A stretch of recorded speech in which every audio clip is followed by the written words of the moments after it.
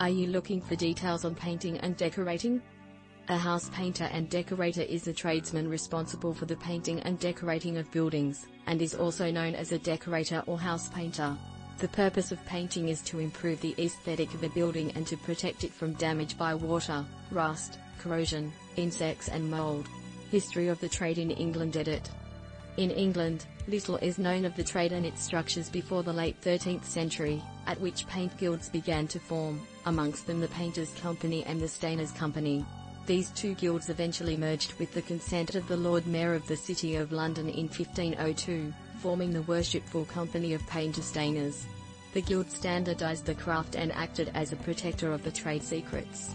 In 1599, the Guild asked Parliament for protection, which was eventually granted in a Bill of 1606, which granted the trade protection from outside competition such as plasterers. The Act legislated for a seven-year apprenticeship, and also barred plasterers from painting, unless apprenticed to a painter, with the penalty for such painting being a fine of £5.